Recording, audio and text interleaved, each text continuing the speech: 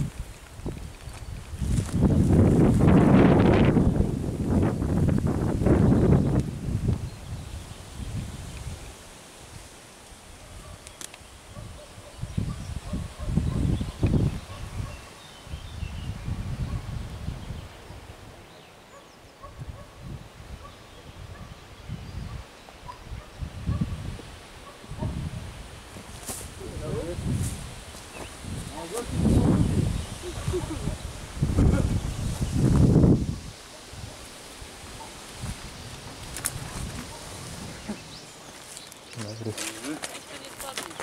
Nie. Chyba jakaś alternatywna droga.